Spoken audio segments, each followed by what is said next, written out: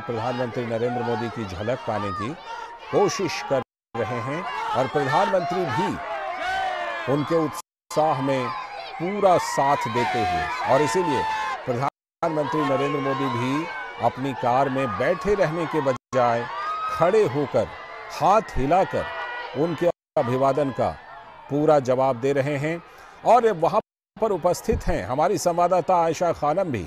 उनसे जुड़ते हैं और वहाँ के नज़ारे के बारे में, उनसे और ज़्यादा जानकारी लेने की कोशिश करते हैं। आयशा, जैसा कि हम देख रहे हैं, प्रधानमंत्री नरेंद्र मोदी की यात्रा को लेकर गजब का उत्साह दिखाई पड़ रहा है। हुबली में इतना उत्साह कि प्रधानमंत्री को भी बाहर निकलकर हाथ हिलाकर जवाब देना पड़ रहा है। आयशा। जी हाँ बिल्कुल, लालचंद। प्रधानमंत्री नरेंद्र मोदी का भव्य स्वागत हुबली के लोगों ने किया है। और जगह जगह पर अलग अलग पॉइंट पर मोड़ पर लोग खड़े हुए हैं। और पूरा नज़ारा जो है युवाओं ने पूरे एक वाइब्रेंट तरीके से प्रधानमंत्री का स्वागत किया है। और खास बात यह है कि मोदी के नारे जो है ये लोग लगा रहे हैं। मोदी के नारों से पूरा शहर लगभग गूंज रहा है। क्योंकि जो छात्र यहाँ पर पहुँच रहे थे ग्राउंड में भी पहुँच रहे थे तमाम छात्र मोदी मोदी नारे लगाते हुए पहुँच रहे हैं। और प्रधानमंत्री नरेंद्र मोदी जिस रूट से गुजरते हुए ग्राउंड तक पहुँचेंगे ये रूट जो है खास है क्योंकि इस रूट हुसुल सर्कल जो विशेष एक स्थान है ये ऐसी जगह है जहाँ पर कई शिक्षा संस्थान है। और इनमें से कई छात्र जो आज रैली के अंदर नहीं पहुँच पाए तो उन्हें वहाँ पर खड़े होकर प्रधानमंत्री नरेंद्र मोदी को देखने का मौका मिला। जी। अब लोगों का उत्साह एक तरह से कहे दिखाई पड़ता है। लोग प्रधानमंत्री नरेंद्र मोदी का स्वागत कर रहे हैं अभिनंदन कर रहे हैं।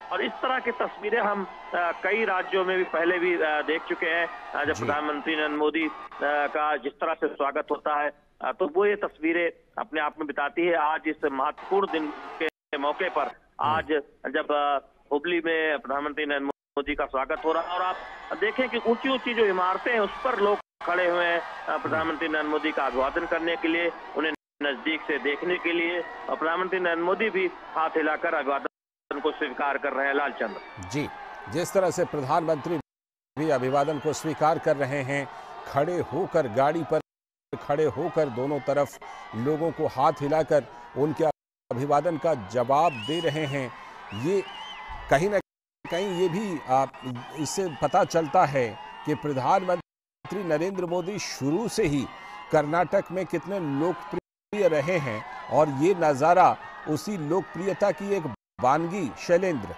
निश्चित तौर पर प्रधानमंत्री नरेंद्र मोदी कर्नाटक हो या कोई दूसरा राज्य हो देश का, जब भी हम देखते हैं कि इस तरह से रोड काफिले के दोनों तरफ़ सड़कों के किनारे जो भीड़ दिखाई देती है, वो ये बताती है कि प्रधानमंत्री नरेंद्र मोदी को नज़दीक से देखने के लिए लोग कितने उतावले रहते हैं लोग उनका अभिवादन करने के लिए उनका स्वागत करने के लिए कितना उत्सुक रहते हैं। आप देखिए इस वक्त पुष्प वर्षा हो रही है प्रधानमंत्री नरेंद्र मोदी पर और अपने हाथों में फूल लिए हुए जो यहाँ पर जनता है प्रधानमंत्री नरेंद्र मोदी पर फूल बरसा रहे हैं। ये प्यार दिखाता है कर्नाटक की जनता का हुबली की जनता का प्रधानमंत्री नरेंद्र मोदी के प्रति। और यही वजह है कि प्रधानमंत्री नरेंद्र मोदी भी कोई मौका नहीं छोड़ रहे हैं अभिवादन स्वीकार करने में। तो निश्चित तौर पर ये